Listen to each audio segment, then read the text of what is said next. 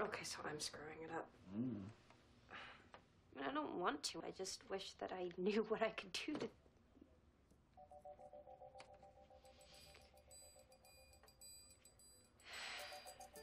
Nigel. Nigel. Nigel. No. I don't know what you expect me to do. There's nothing in this whole closet that'll fit a size six, I can guarantee you. These are all sample sizes, two and four. All right, we'll journey this for you. A poncho. you'll take what I give you and you'll like it. We're doing this Dolce for you. Hmm.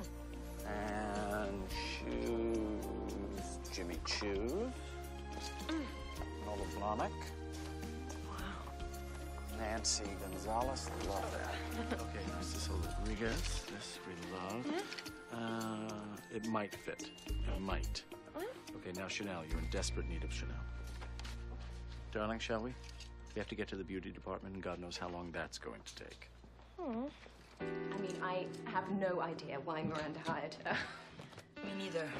The other day we were in the beauty department and she held up the Shu Uemura eyelash curler and said, What is this? I just knew from the moment I saw her she was going to be a complete and utter disaster.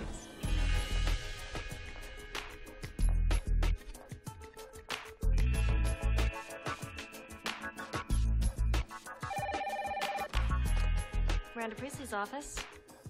No, actually, she's not available, but I'll leave word. Okay, thanks. Bye.